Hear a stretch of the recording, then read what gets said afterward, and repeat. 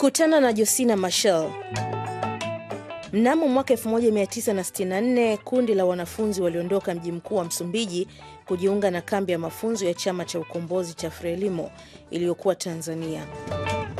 Hawakufanikiwa kuwasili kwenye kambi hiyo.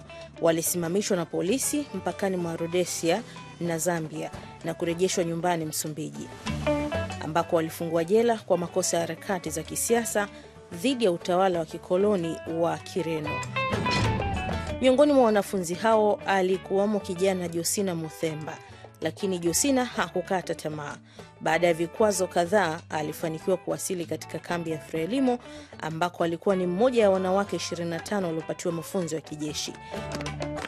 Pia alikutana na Samora Machel aliyekuja kuwa mume wake na baadaye rais wa kwanza wa Msumbiji. Josina na wanawake wengine waliunga mkono mapambano nje ya uwanja wa vita. Alikuwa mwanachama wa tawi la wanawake la chama cha Frelimo na kuandaa vituo vya afya, shule na vituo vya kulelea watoto vya raia waathirika wa vita. Josina alitajwa kuhudhuria ujumbe wa mkutano mkuu wa pili wa Frelimo. Alitetea kikamilifu kushirikishwa kwa wanawake katika vita ya ukombozi. Mwaka 1969 alioana na Samora Machel.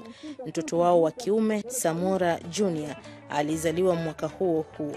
Josina alifariki kwa maradhi ya saratani ya ini mnamo Aprili 7 mwaka 1971. Chama cha Frelimo kilitangaza siku hii kuwa siku ya kitaifa ya wanawake Msumbiji.